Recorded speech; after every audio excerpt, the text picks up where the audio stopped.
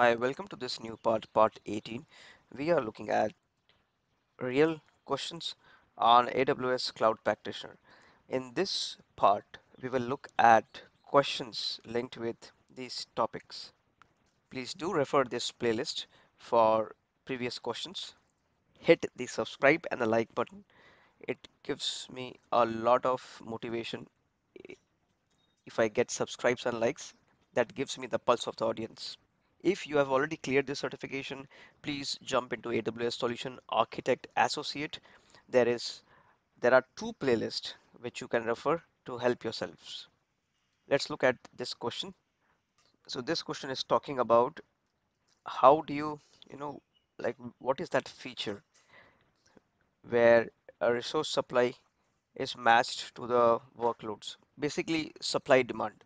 If you have a supply of 100 chocolates and there is a demand for 80 chocolates, then the remaining 20 will be on the shelf, will have more shelf life.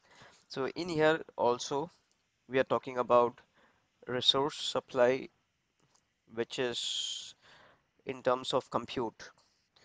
So security just addresses the uh, safety net piece. It does not talk about uh, matching the supply and the demand. Okay, so A is wrong. Reliability.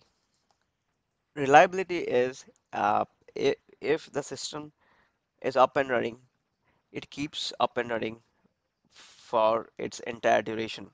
It is highly reliable. Uh, it doesn't go down, and the data is also reliable. It is trusted one. In this case, reliability will not help you with supply and demand. Elasticity will help you with supply demand because what happens is you have a big workload coming in. So if your system is elastic, that means compute will be added to process those workloads. So if there is a demand for 100 chocolates, you just have 60, but you have capacity to immediately ramp up and add 40 chocolates from other vendors, then that will meet the demand. That is called elasticity. So C is the answer for me. But let's look at D, high availability.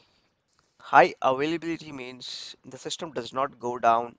It is mostly available for operations and business. It does not, or it is not linked with supply and demand and uh, you know managing or aligning the compute resources. It is all about keeping the application up and running for a longer period of time. So this is my final answer. Let's look at this next question. So there is a business, they were on premises. So this is the on-prem box and now they want to go on cloud. Okay, so this is your AWS. They want to go on cloud and they want to move their production workload to cloud.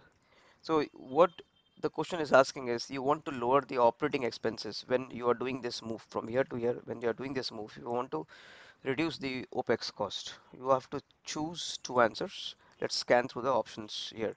A says reduced over provision instances. So this looks apt because when you're moving to cloud and if your instances are over provisioned and overloaded, then you will have to uh, over provision means you just had a requirement for three EC2 instances, but you have provision six.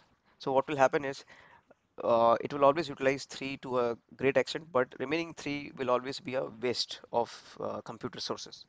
So you will not be saving cost. So first you have to reduce those over provision. If you have six and you know that you, you will only use three, then reduce it to make it three or four.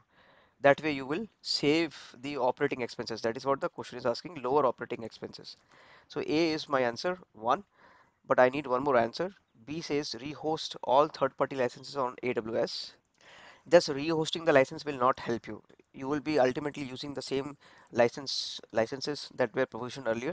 It's just like now you will be putting them on EC2 instances. So this will not help you. C says implement a highly available architecture.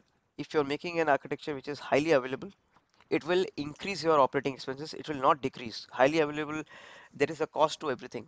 Uh, there is no lunch which is free in this world. So if you have a system which will be available 365 days a year then you have to pay for it. For example amazon.com it is highly available. It is always up and running.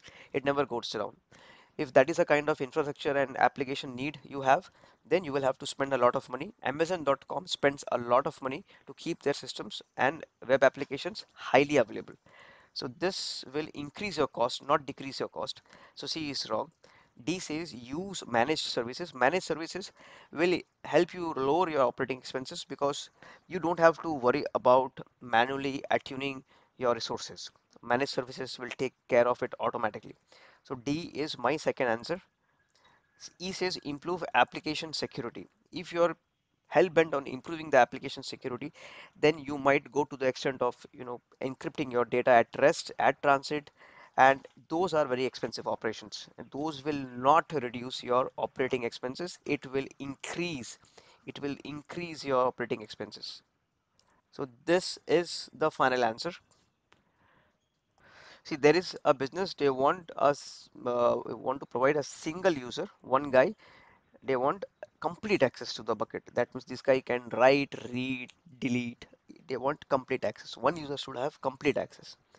So what element in S3 bucket policy contains information about users who need access to S3 bucket? So there are four options here. So let's look at statement first, D. So I could not spot anything which is called statement in S3 bucket policy creation. So for me, D is wrong. Let's look at C. So C is talking about resource. See, if you see this documentation, it talks about, you know, policies and permissions. Under policies and permissions, it is talking about resources, principals, actions, etc., which is all we are looking for, principal, actions, resources. So when we talk about resources, it is talking about Amazon resource names, ARN format. Okay, so each resource, whether it be EC2 instances or, or any other instances uh, or databases, etc., they all have ARN associated with it. So remember that ARN excludes, it excludes region and namespace, but includes the following. It has partition service relative ID. But do you see that does the resource contain information about users who need access to the bucket? No, it does not. So C is wrong. Let's look at let's look at B. That is actions. So basically action is the set of permissions that you specify in a policy. Some of the actions can be object operations or bucket operations like these For example, create bucket, list all my buckets, get the bucket location. So this will still not help you with the users who need access to S3 bucket. So B is wrong. That leaves us with only one option that is A, principal. So if you see here principal, this element, it specifies user account service or other entity that is allowed or denied access to a resource. This is exactly what we need for this question because this question is asking about users who need access to the S3 bucket. So this is my final answer. Please hit the subscribe and the like button. Do not forget to visit the entire part of this playlist. There are hundreds of questions and you can also go through the comments. There are lot of people who have cleared the certification and have put in good words about how helpful this channel was to support them. This brings us to the end of part 18. In this part, we covered questions which are linked with these topics, these questions, these topics. There are two playlists on AWS Solution Architect Associate. Do also plan to work on that certification. Both those playlists will help you clear the certification. All questions on this channel are relevant for even any certification exams happening today as well.